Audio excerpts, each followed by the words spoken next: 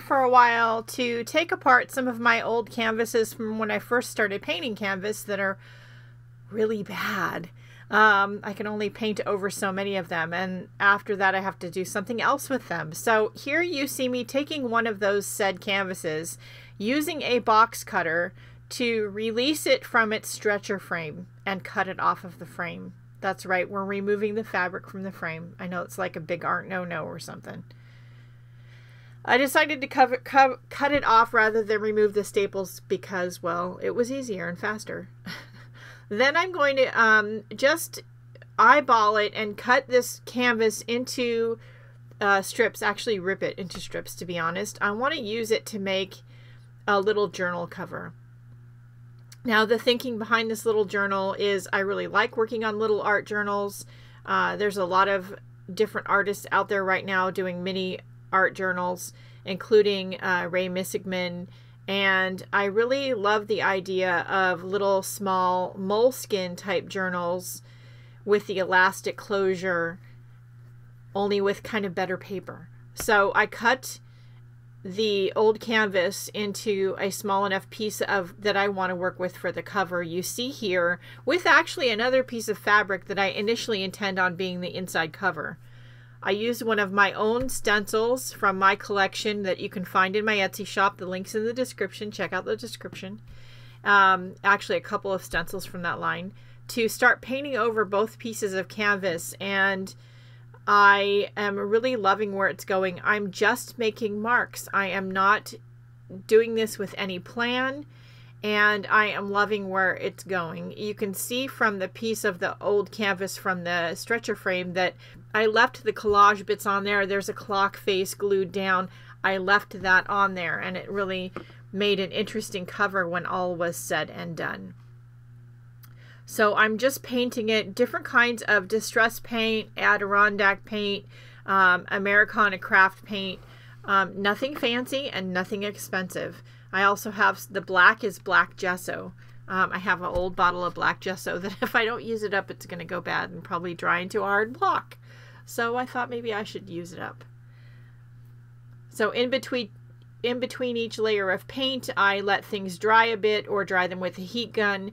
Then I go in with uh, pencils, markers. These are China markers. I have both a black one and a white one. And um, I make some marks on the canvas and then I come in with some collage bits, some sheet music, uh, some tissue paper, some deli paper, um, some newsprint paper that I was playing with one of my new stencils on. And I collage some of that down over the parts that I painted and I just keep adding layers on top of layers until I get something that I really love. I'm using um, Indigo Blues Slap It On um, to glue everything down. I really love that glue. It dries quickly. Um, it's easy to use. Sticks everything down. After the collage layer, of course, I come back with more paint and I add more marks. Because, you know, I'm not done. Then I come in with some of my silicone uh, hot pads and make more marks because I'm not done. and just keep doing that until you really love what you're doing. And this is just the beginning. So then I decide to get my little sewing machine out and I sew all the way around the edges with some black thread of each piece of canvas. And just to give it sort of an interesting mixed media edge. I do decide in a minute you'll see me pulling out, and you can see some of it here on the table, random bits of fabric, lace, trims, and I do also sew those to the cover. Now, when you're sewing on these mixed media pieces, don't use your fancy expensive machine.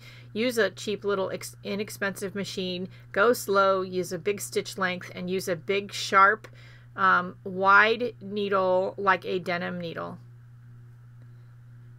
So here's some old, some fishing netting, some just old pieces of ribbons and trims I have laying around, and I'm going to just layer them on top of the um, cover until I get something I think I like, and then I'm going to sew it all down. I do I haven't I have no idea if it's this is in the video or not, but I will tell you something else that I did. You'll see it for sure at the end. I took an elastic hair tie, I cut it in half, I tied a knot in each end and then I sewed it to the back cover and you can kind of see it there and that's the closure the Moleskine inspired closure for the journals um, I do take some random bits of mixed media paper scrapbooking paper um, newsprint um, and that kind of thing, and packing paper. And I make a couple of signatures for each book. And I use a simple three hole pamphlet stitch to sew the signatures into the book. I didn't measure anything, it's very organic. And um, I love the way they turned out. I'm using a bookbinding needle and bookbinding thread to sew them in, so they're in there very well, and then tying them in the center with three knots. If you don't know what the pamphlet stitch is in bookbinding, there's a million YouTube videos out there on on it, so you can go look one of them up for the exact how-tos, but just get them in there. It doesn't matter how. Then I'm taking some tags out of my stash of tags, and you can see them sticking out here, and I'm attaching them to some of the pages, some of the edges, and I love the way they turned out. I ended up making four of these and selling two of them in my Etsy shop. I listed them and they sold within the hour. I will probably be making more. I love the way they turned out and I can't wait to paint that within them. I hope you love them too. I hope you have fun making your own little version of the mini skinee, using up your paper clips, your tags, your bits of random bits of paper, and making a cute little journal that we can paint in as we go forward. All right, that's it for today. Don't forget out that to check out the description for links to all my websites, Etsy shops, and everything else. Have a great day. Do something nice for yourself. You deserve it. See you later.